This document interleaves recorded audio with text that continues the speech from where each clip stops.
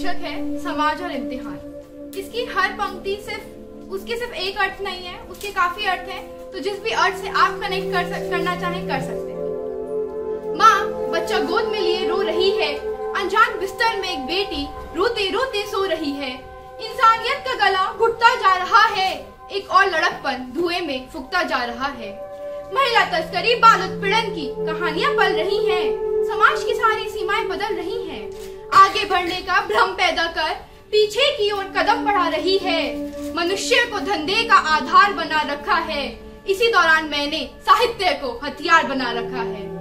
साहित्य को उठाकर देखो तो कई बातों से समाज को दिक्कत होगी। पर आँखें खोलकर अपना अस्तित्व देखें तो विभत्स से आँखें चौकन्नी होंगी। सीता की अग्नि परीक्षा द्रौपदी का चीर हरण हृदय को रौन देगा पर आसिफा और निर्भया का वाक्य अब बीती बात लगेगा। इंसान सिर्फ़ इंसान को नहीं, प्रकृति को भी निशाना बनाए फिर रहा है। वातावरण के साथ खिलवाड़ कर कहाँ कुछ अब स्थिर रहा है। पहले पहले वन में पुरानी कहानियाँ रचा करती थी। अब अब तो वन में कुल्हाड़ियाँ चला करती हैं। इंसान इंसान का दुश्मन तो कब से बन चुका है? पर अभी भी वह कहा नहीं रुका है? अब अब तो प्रकृति से दुस्साहस करने की बारी है।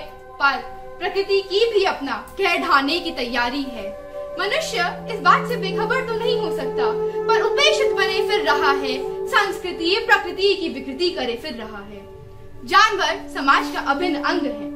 प्रचलित गाथाएँ इस बात का साक्ष्य है, पर मनुष्य अभी काफ़ी तंग है, भ्रम में है, सोचे यह कि ऐसे उसका जीवन साध्य है। दर्द है, धुआँ है, दरारें पड़ी हुई हैं।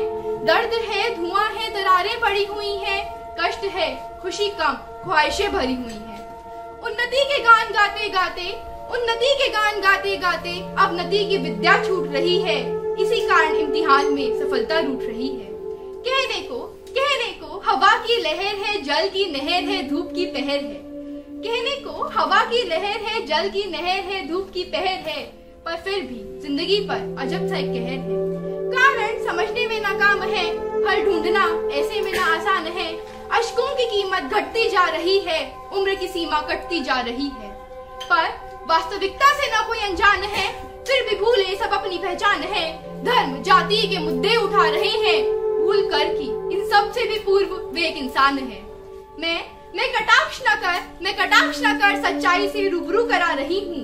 मैं मैं कटाक्ष न कर सच्चाई से रूबरू करा रही हूँ। मैं किसी एक को दोष न देकर हम सब के, समाज के समक्ष सवाल उठा रही हूँ। सामने आपके सामने आपके एक दर्दनाक तस्वीर रख, सामने आपके एक दर्दनाक तस्वीर रख, उम्मीद में की कुछ हालात सुधरने की गुंजाइश अभी बाकी है। उम्मीद में की कुछ हालात सुधरने की गुंजाइश अभी बाकी है। ज़िंदगी सुधारने की अभी आजमाइश ही काफ़ी है।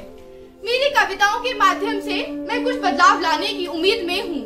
कुछ ज़िम्मेदारी समझती हूँ, कुछ काव्य पाठों की मुरीद में हूँ। क्योंकि काव्य पाठ नहीं है केवल, यह चेतना है, आक्रोश है, संवेदना है, जोश है, संघार है, एक पुकार है, समाज से किए जाने वाले कुछ सवाल है। शोर नहीं शोर नहीं है क्रांति का आभास है, जुड़ते, बुनते सपनों का एहसास है। काव्य पाठ नहीं है केवल कलाम की शिक्षा, कलम का नाज है। काव्य पाठ नहीं है केवल ज़िंदगी के मायनों की एक तलाश है। धन्यवाद।